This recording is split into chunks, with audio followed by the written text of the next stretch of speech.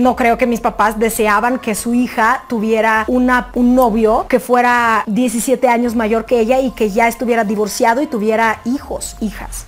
Irina Baeva le sigue haciendo frente a todas y cada una de las críticas que ha recibido por su romance y ahora compromiso con el actor Gabriel Soto.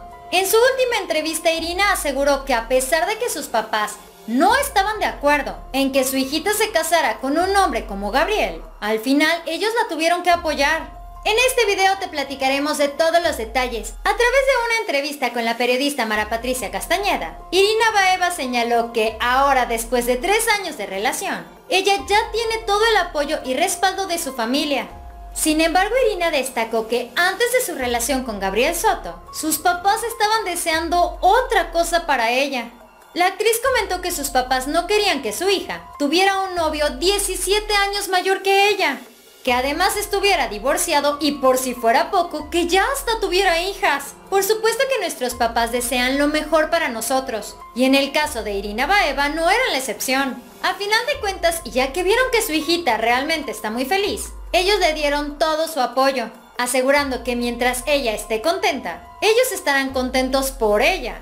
Previo a estas declaraciones, Irina Baeva defendió con uñas y dientes su relación, pero más que nada su decisión de casarse con Gabriel Soto. Ella dijo que al día de hoy es una relación súper sólida. Es muy bonita, llena de confianza y se aman. Ellos han pasado por tantas cosas y por esto mismo tomaron la decisión de casarse y formar una familia. Por todo lo que se ha dicho aquí, allá, acullá y atrás, ellos decidieron dar el siguiente paso. Acerca de esto, Irina Baeva también agregó que con tantos rumores que se mencionaron a través de redes sociales, medios de comunicación y de las propias declaraciones de los involucrados, ella decidió creerle a Gabriel Soto. Ella creyó ciegamente en todo lo que el actor le contó acerca de su pasado con su expareja, la también actriz Geraldine Bazán, Irina mencionó algo muy cierto. Ella no estuvo presente en la relación de Gabriel Soto y Geraldine. Ella no estuvo ahí plantada entre ellos dos, escuchando qué era lo que se decían o lo que no se decían.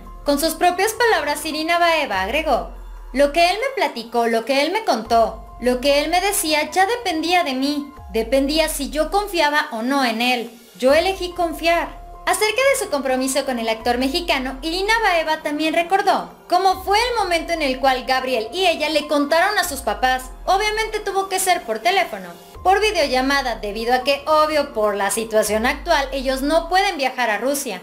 Lo interesante es que Gabriel Soto no habla ruso y los papás de Irina no hablan español, así que todo lo tuvo que traducir ella sola. Irina platicó que en ese momento ella no traía el anillo, debido a que cuando se lo dio Gabriel a ella le quedó grande. Ella solamente traía la cajita y Gabriel le iba diciendo todo lo que él quería, que ella le dijera a su papá. Y me decía Gabriel, entonces dile a tu papá que pues yo te amo y que yo te voy a hacer la mujer más... Y me, da pena traducir eso de que no, papá, mira, dice Gabriel que... Irina agregó que Gabriel le dijo que le dijera a su papá que él quería darle un anillo más grande, pero debido a toda la situación actual y al aislamiento, las cosas con la economía no andaban muy bien. Irina le dijo, ¿sabes qué? Espérate, espérate, yo no le voy a decir eso a mi papá. Pero al final Gabriel estuvo insiste, insiste, insiste. Irina mencionó que sentía que para sus papás había sido algo muy bonito, ya que una persona había decidido pasar el resto de su vida con ella. Irina Baeva también confesó que todavía no tienen fecha para esta celebración, ya que debido al aislamiento, ellos dependen de lo que haga el padecimiento mundial.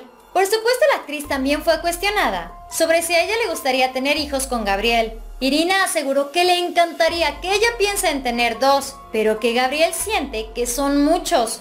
Pero a ver, a ver, ¿Gabriel Soto dice esto porque él ya tiene otras dos hijas o porque no quiere tener más hijos con Irina? Aquí podemos decir que donde come uno, comen dos, comen tres, comen siete, ocho, nueve. Pero es en este momento en el cual a mí me interesa saber tu opinión. Esto fue Famosos de Cerca. Dale like a este video y no te vayas sin antes suscribirte a nuestro canal de YouTube dando clic aquí abajo. Al igual que seguirnos en nuestra página en Facebook. Espero que tengas un excelente día. Nos vemos muy pronto. Bye.